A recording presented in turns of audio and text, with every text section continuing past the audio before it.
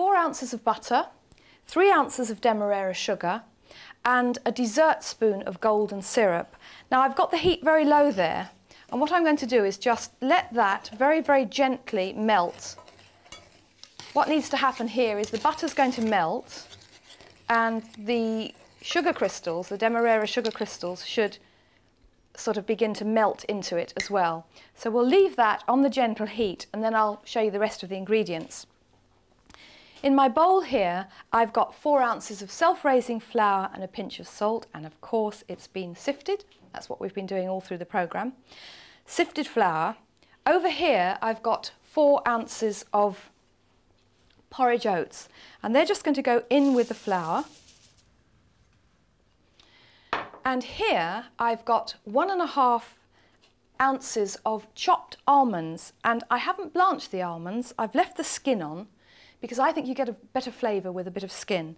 And I'm going to put half of the almonds, you don't have to be precise, in with the mixture. And here I've got chocolate. Now this is very special chocolate. This is a dark continental chocolate that has 75% cocoa solids. So it's got that really strong chocolate flavour. You can use different chocolates if you like. You can even use chocolate chips if you want to make these with children and you don't want them to be too expensive. But if you want the real chocolatey flavour, this is the one. And what's going to happen now is half of that is going to go in as well.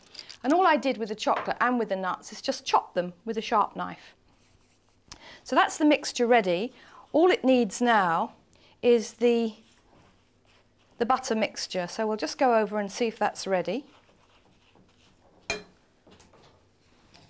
And here we are.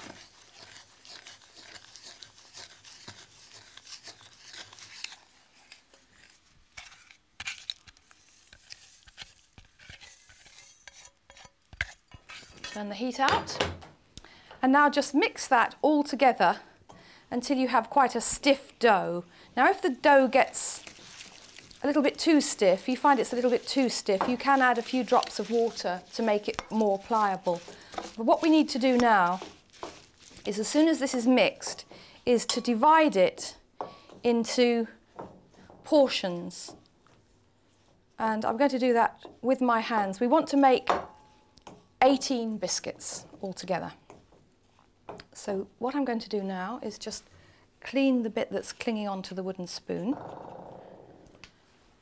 And then you just take lumps of mixture I would say like a large walnut, a very large walnut, which is like this. Then you just roll it in your hand until you find it looks like this. Then you put it onto um, a work surface and then just press it with your hands. Press it out. It might get a little bit raggedy at the edges, that doesn't matter. Keep going until you have a biscuit that's about two and a quarter inches in diameter, like that. Then the rest of the chocolate and the nuts is going to be sprinkled on the top. And that'll go, the nuts particularly will go nice and toasted and crunchy. And of course you can use different nuts, you don't have to use almonds. Pecan nuts are very good, and so are peanuts. Then you just take a palette knife and slide the biscuit with the palette knife over to a greased baking sheet